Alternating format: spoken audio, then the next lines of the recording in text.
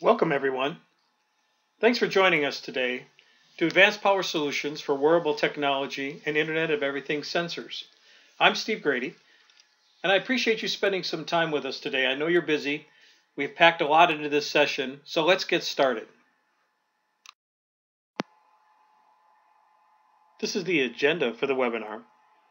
First, we're going to talk about wearable technology and Internet of Everything market dynamics. And then we're going to examine the wearable tech and Internet of Everything system components and the powering options. Then we're going to examine some techniques for harvesting ambient energy to recharge these devices. And we're going to look at the new technologies as well as the cost trade-offs for these advanced power solutions. I'm going to talk about some design tips and techniques for building ultra-low power systems with long battery life. And then we're going to look at some examples and do some teardowns of real-world energy harvesting powered wearable tech and IoE devices. Now there are some key trends driving innovation today. The first on the left you see is ultra low power. This is processors, microcontrollers, analog circuits, sensors, and wireless solutions. Now all of these new devices are becoming smart. They have sensors embedded in them and they're going to be deployed in billions of locations. The obvious way, of course, is to communicate using wireless, and we're finding that becoming the pervasive communications method. Everything is becoming very miniature and small, so we're finding things need to be integrated tightly together in tiny packages. And lastly, we hope that maybe we can use the ambient energy around these devices to power them, and throughout their life cycle they need to be eco-friendly, especially at end-of-life disposal. This is an interesting slide courtesy of Cisco. What it shows is the last 25 years of computing to where we are today. And of course, in the 90s, we went to our device. We used our PCs, our computer terminals, and then our devices became mobile, and the device came with us. And as we went throughout the early 2000s, we started to see smart things. And that really became the Internet of Things. Now this slide points to taking it one step farther, and this is where now intelligence is in the fabric of everything. In other words, intelligence and connectivity applies to people, process, data, and, and things. And so this is called the Internet of Everything. And what will happen is the capabilities, the sensors, will be embedded into the devices. You won't really know they're there. Might be your clothes, might be your washing machine, might be your car, might be your home might be your pets. But the point is, they're all going to communicate together into a seamless environment. So as we look at the Internet of Everything, what's the scope and scale of the deployments? Well, if you ask HP or IBM or Cisco, they calculate that potentially could be billions upwards of a trillion devices. And it's such an important market that, for instance, Google just recently acquired Nest, which is a home thermostat company, for $3 billion. So obviously, there's great importance represented here as a business opportunity for all these, these companies. But the question, of course, is how are you going to power potentially uh, billions of devices? And worse yet, if you are going to use primary batteries for a trillion devices, who's going to change 1 trillion batteries. So I think we're going to need to look at a different kind of powering technique versus just primary batteries. And that would be energy harvesting. This is the case where we can harvest energy from almost any environment. It might be light, might be vibration or motion, could be flow, could be from pressure, magnetic fields, RF, etc. Every industry segment will benefit by using energy harvesting powered devices because there's ambient energy in almost every situation. But you're going to need an energy harvesting transducer to convert the energy from these different modalities to electricity to run the system. You're probably going to have to store the energy in the system for the times that the energy harvesting transducer isn't available. And you're going to need high cycle life because you want this device to last the life of the product. So an ideal solution is a very cost efficient, energy efficient system that can be continuously cycled for the life of the product. This slide shows the power spectrum we'll be talking about in today's session. It ranges from nanowatts up through microwatts into the milliwatt range. Out in the, in the higher wattage range, that's more mobile communications, M2M networking, larger devices, and that won't be the scope of today's talk. We're going to focus in on solutions that provide microwatt, milliwatt types of powering for IOE and wearables. This is a diagram of an energy harvesting powered sensor. And you can see we have the power section below and then the microcontroller sensor and radio section above. We're going to spend most of our time today taking a look at the, the power section here, but you can see we're going to deploy some sort of energy harvesting transducer. We're going to convert that energy in a very high efficiency manner most of these systems are going to have an energy storage element in it for when the energy harvesting transducer is not available. That power then is going to be presented to the microcontroller sensor and radio complex.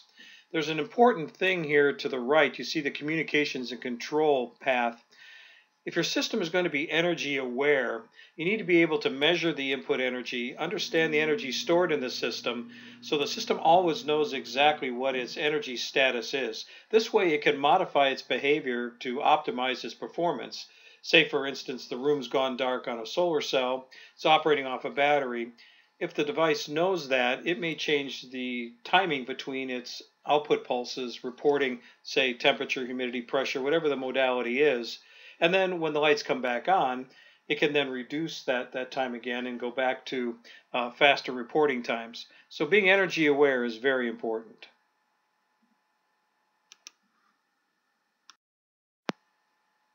Before we get too deep into the details of designing energy harvesting powered solutions, I want to introduce you to a couple of key concepts here. If you look at the chart on the left, you'll see the blue line represents the average standby or sleep power of the system.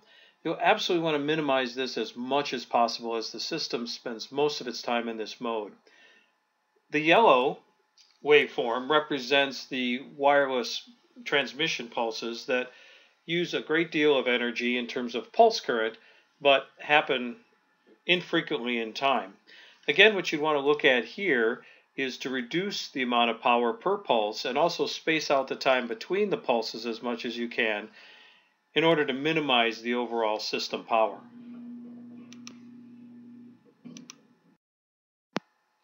So this is a rather busy chart, but it represents the various kinds of energy harvesting transducers we can use to power our system. We can harvest energy from light, we can harvest it from vibration or motion, we can harvest thermal gradients using thermoelectric generators, or maybe do something around RF or inductive harvesting. You can see here in the table, each of them have their own challenges. In some cases, they may be a DC voltage, in other cases an AC voltage. One of the key things to notice under typical impedance is with solar cells, they are a variable impedance type of device. However, the other ones are constant impedance, and we'll look at the power curves of each of these that are driven by the differences in impedance. But your conversion circuits are going to need to take this into account, and we'll see that in a minute. Along with, you can see in the typical output power, we can range from just a microwatt up through you know many, many milliwatts. So you have to account for that wide range as you're doing your circuit design as well. Let's look now at how to deal with these and design circuits for each of them.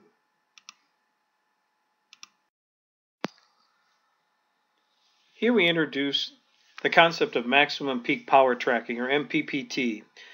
You see in the very simple circuit on the left-hand side there, what we're looking to do is match the impedance of the energy harvesting transducer source to the impedance of the load. You see in the simple graph on the right, we're looking at the ratio of the power of the load over power max of 1 and the resistance of the load divided by the resistance of the source at 1.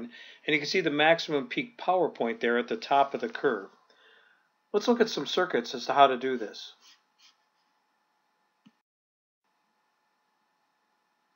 There are several kinds of power conversion techniques and MPPT algorithms. One are hill climbing algorithms, and we'll see those in just a second.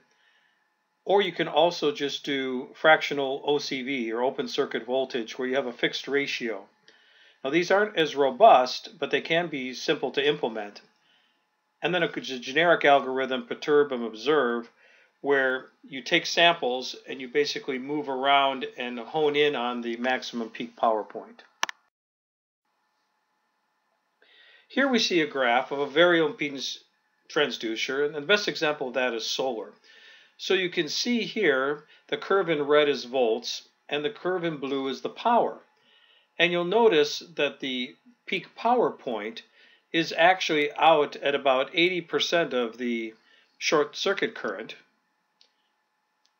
And you'll need to be able to track this as conditions change, whether the solar conditions change or potentially temperature can alter the transducer characteristics. You'll need to continually hone in on this maximum peak power point. And this is what the curve looks like for a constant impedance transducer. Not surprisingly, it's centered in over the midline of, of the volts. But again, these curves can move with changing conditions, especially temperature as well. So most of these energy conversion algorithms are active, and you'll need to invoke them from time to time to make sure that you're at the maximum peak power point. So here's another example of solar power. You can see that curve that we saw a minute ago on the left.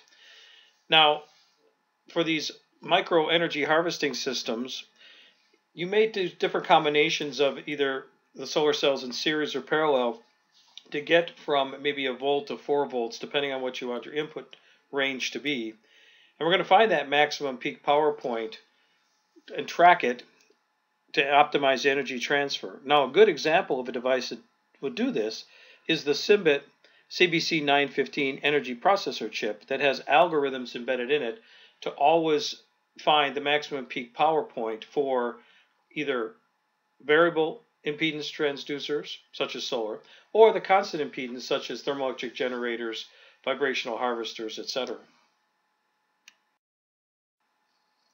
This is an example of thermoelectric generator, and you can see on the left the family of curves differ by the temperature gradient. You can see down there uh, at the very bottom, the blue line is only 6.7 degrees Kelvin temperature differential, and way up on top is 32 degrees Kelvin. And you can see where the maximum peak power point moves around. So you can imagine now that you do have to track it as the temperature gradient changes on the on the source that you're extracting energy from. You will have to move your maximum peak power point, and you can see in the curve on the right, there's an example of that hill climbing algorithm we talked about a few slides ago, where I'm moving from A to B, I move over to C, I found I've gone too far, and I home back on on the maximum peak power point. So again, this is an active algorithm. When we sit down with our customers and talk about energy harvesting, we're often asked about the, the costs of an energy harvester versus primary batteries. And of course, usually the first cost of a primary battery is quite a bit lower than the cost of an energy harvesting system. However, the next few slides, I want you to consider the lifetime cost, and we'll find that energy harvesters can be very cost effective. So, obviously, designs that do not have a, a charging source are going to use either a primary battery or some sort of energy harvester. So let's go ahead and now and model the energy harvester as a variable capacity battery and understand what that costs versus the cost of a primary battery. So first we'll calculate the dollars per milliamp hour for a primary battery. This is a good metric using the cost per capacity to measure the cost effectiveness of a device. And you can see various kinds of batteries listed here under the first bullet. You can see, uh, and again, we're using one thousand piece quantities from distributors such as DigiKey, Mouser, others. You can use a CR2032 coin cell and a holder, and at 225 milliamp hours divided in its cost, you get about 0.0016 cents per milliamp hour. Now a Tadiran coin cell is more robust.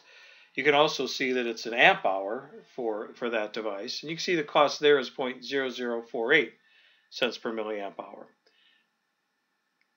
AAA alkaline batteries, two of them, to uh, create a 3 volt system at a milliamp hour runs about 0.0017 cents per milliamp hour, and something like a Cymbet Enerchip, very unique solid state battery, runs about 0.0054 per milliamp hour, somewhat similar to the Tadiran batteries as they're both specialty batteries.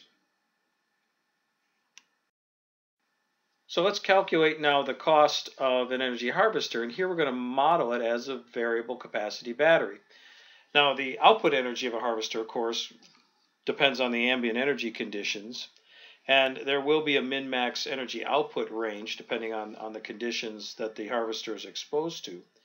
But what we're going to do now is take the cost of the transducer and the interface components, the storage components, and the conversion electronics together, and you can see there the costs for, for instance, a Sanyo solar cell, some conversion electronics, Enerchip batteries. You take the power input of that kind of device under 400 lux, and here we're assuming that the light's on all the time, and you can play around with a mix of light on, light off. But here you could see that the capacity over a 10-year lifespan is 7,700 milliamp hours, almost 8 amp hours. Now, if you take the cost of all those components and divide it by the milliamp hours, you can see here that you get 0.0013 cents per milliamp hour, which is essentially lower than the cost of the AAA or coin cells. So the key takeaway here is that you can design energy harvesters as cost effectively as primary batteries over the life of the product. Of course, you can consider here that I'm getting potentially 8 amp hours out of this system I'd have to change my AAA batteries eight times over the life of the product to have the equivalent energy stored as the harvester is giving me. So you can see it's very effective. Now you also need to assign value to energy harvesting power solution over batteries, especially number one is the battery changeout cost. If that's an issue in the system and someone's going to pay to have to maybe go up in a very difficult location and change out a battery, that can have a very high value and make energy harvesting systems very cost effective. But you also have to take a look at the laundry list here. I'm not going to read it all. Uh, you can kind of scan through it, but what are the overall power requirements? How long does the device have to last? The, the footprint of the device. Do you want to seal the device? Are there aging characteristics? Are there high temp characteristics?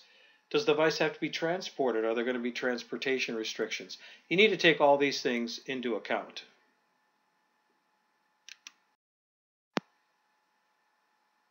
So to sum up the discussion we just had over the last few slides on energy harvesting and looking at this part of a wearable tech or Internet of Everything sensor is what are the costs of the energy harvester, what are the benefits of the energy harvester? You're able to assign value to those, and the requirements of the device as it pertains to the performance and the design are all important things to take into consideration.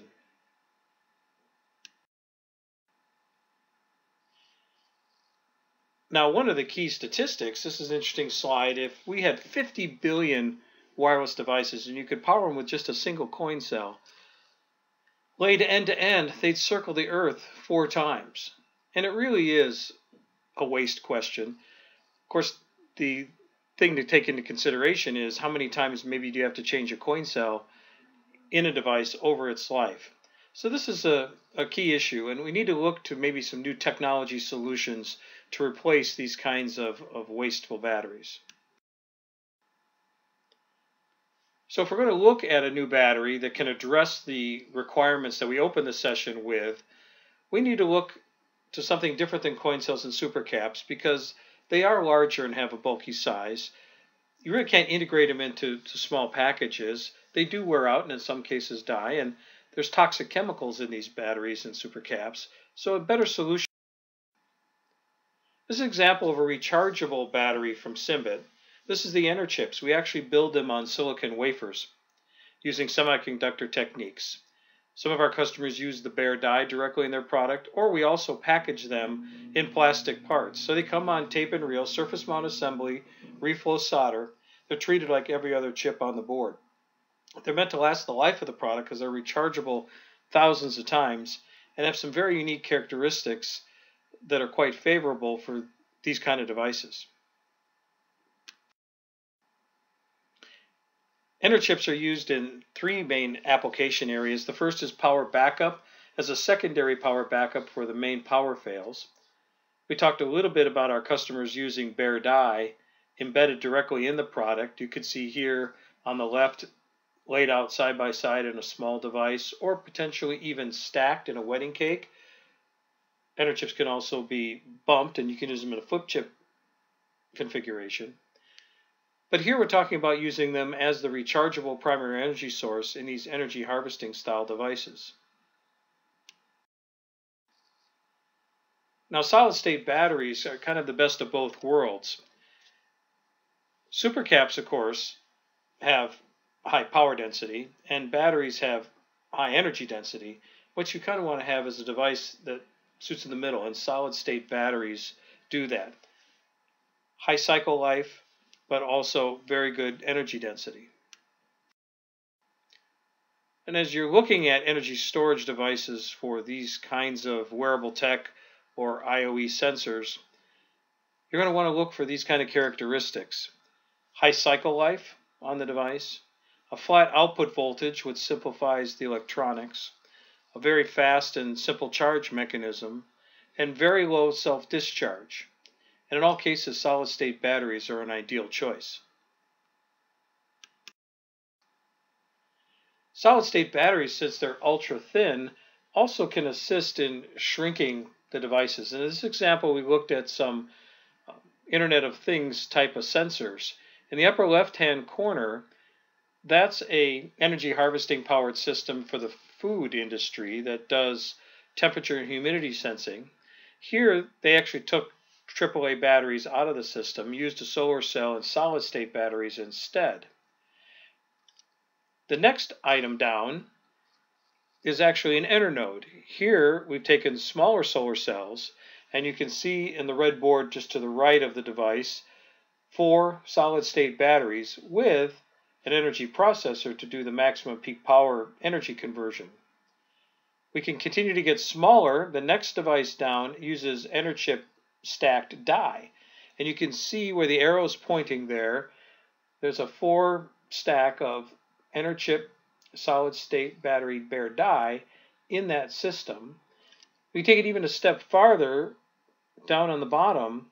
That's a one millimeter cubed device. It's an intraocular pressure sensor used in the eye, and we'll explain that in a minute. So see what we've done here by using ultra thin rechargeable energy storage. We've reduced an Internet of Everything sensor 144,000 times.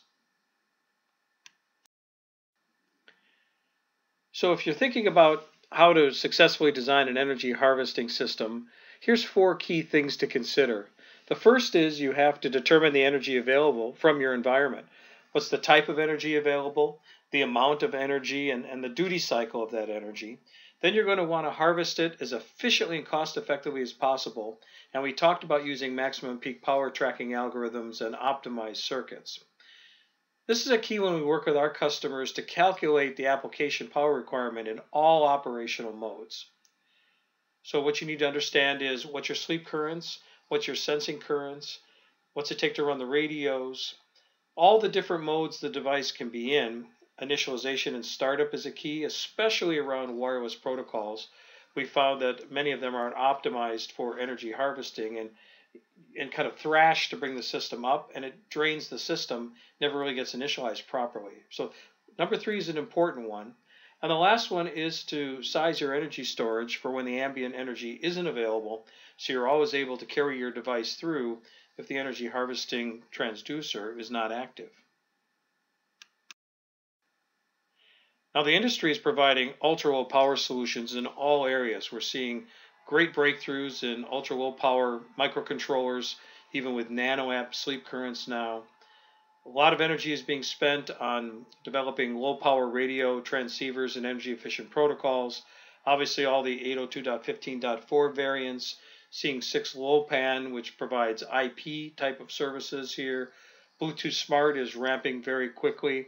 And things like the ANT plus protocol or EnOcean protocols are also used. So also micropower sensors, we're seeing a lot of attention paid. For instance, Sensirion has some very nice devices. NXP has introduced some CMOS sensors Uh, TI has some very low power Hall effect sensors. So again, to lower the power budget, new sensors are coming to market. And also really looking at lowering the quiescent current on the power management ICs, timers, A to Ds, etc. All the things in the products are becoming ultra low power. Here are some techniques for running Internet of Things, Internet of Everything sensors on a microwatt of average power.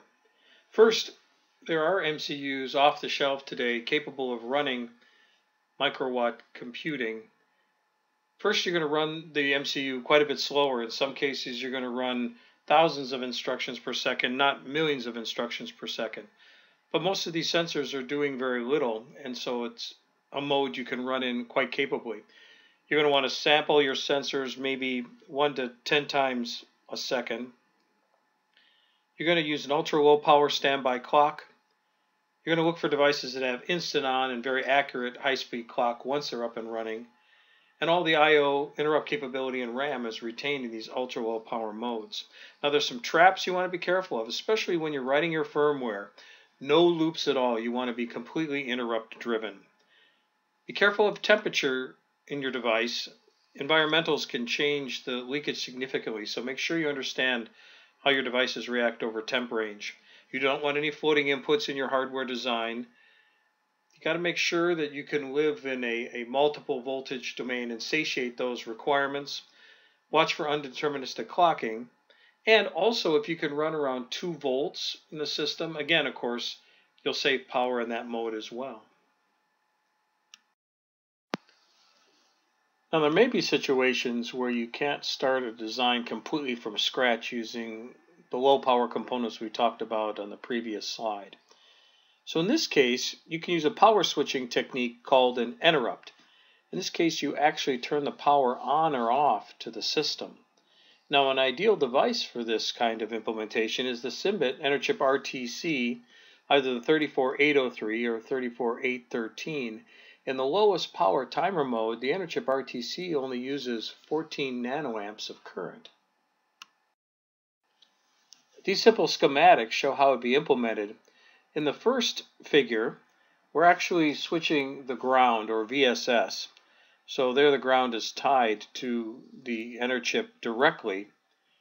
In the second case, you actually tie the interrupt up to a FET and control the main power rail or the VCC, turn the power on or off that way. There's pros and cons to either design, and you'll find that uh, Cymbet has app note AN1059, which will describe this on Cymbet.com. This table from that app note shows the example power savings using an interrupt circuit. You can see there's a number of variables here around the original sleep current in microamps, the active run times, the sleep periods, the number of instructions run every time it wakes up. But the key column is the one on the far right, where the power savings ratio, and that is above 1, you're extending battery life that number of times. So that table goes all the way up to an example where it shows you can extend the battery life 11 times using this technique.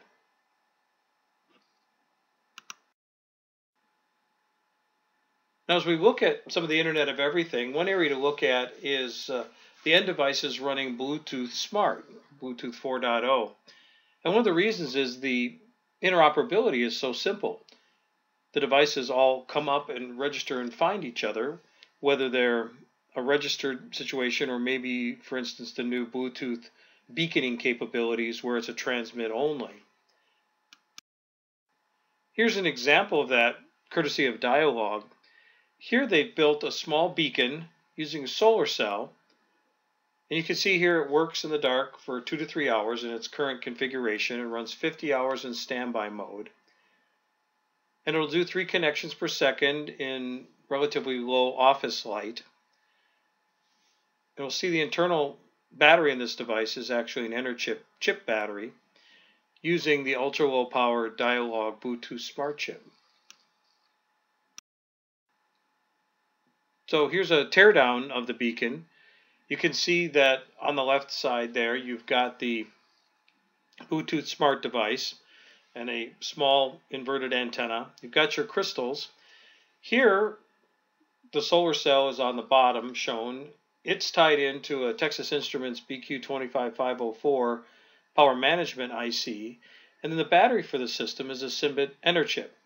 And you can see here that this device is 25 millimeters on a side, or about an inch square.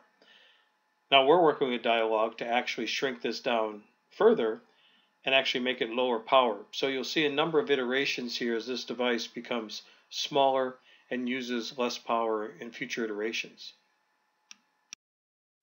I promised earlier I'd talk about the intraocular pressure sensor. This work was done at the University of Michigan.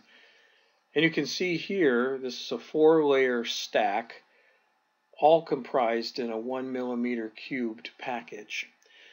The bottom layer is a MEMS pressure sensor, and this is used to measure the pressure in an eyeball for the glaucoma patients. And the intent of the device is to transmit this pressure value to a wand that's held up in front of the eye.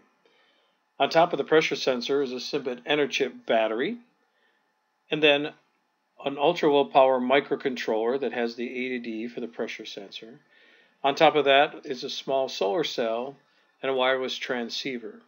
So you see all these elements combined are a great example of a tiny energy harvesting powered Internet of Everything device.